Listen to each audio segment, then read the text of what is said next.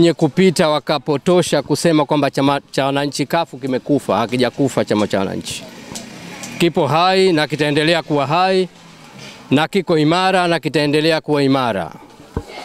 Chama cha wananchi kafu kina wabunge wanne ambao wanawakilisha Jamhuri ya Muungano, ikiwa mmoja ni mimi na jimbo la Pandani na wilaya ya Kusini Bara, na pia tuna mbunge kupitia Afrika Mashariki. Kwa hiyo hichi ni chama kikubwa kama wa, viongozi wenzangu walivyotangulia kusema, na pia ni kuombeni wananchi wa, wa, wa, wa Mgelema kwamba sasa tuamkeni. Kuna makundi yenye kupita yakichukua fikra zetu, yakichukua mawazo yetu. Hili tulipotezeni kabisa, si wakati wake sasa. Tuweni na maamuzi yetu sisi wenyewe na tuweni na fikra zetu sisi wenyewe.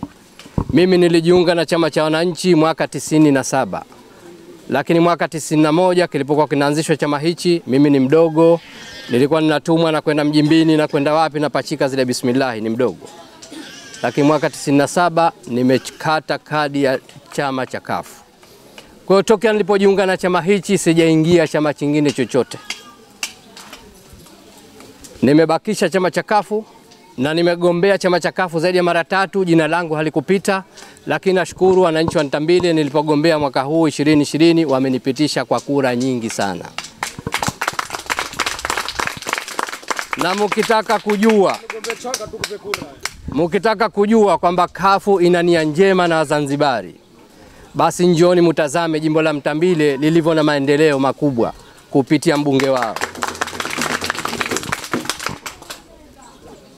Muda mdogo tu nilokaa miaka miwili, lakini nimefanya mambo makubwa kushinda wabunge waliokaa miaka ishirini pale. Kwa hiyo ni kuombeni wananchi wa, wa, wa, wa Mgelema, rudini katika chama chenu bila ya kumwogopa mtu, bila ya kumhofu mtu. Kuweni na maamuzi yenu nyinyi wenyewe, msiamuliwe. Kuweni na fikira zenu nyinyi wenyewe. Hichi ndio chama pekee kinachoweza kukugomboeni na si chama, si chama chingine chochote. Asije mtu hapa akakudanganyeni, kuna hivi kuna hivi kuna vile kuna hivi. Walikuwepo hapa karibu ishirini na moja wawakilishi karibu ishirini na moja hao hao walioko huko sasa hivi, hatukuona lolote walilolifanya. Kweli si kweli? Eh? Miaka mingapi? Ishirini. Kuna lipo walilolifanya?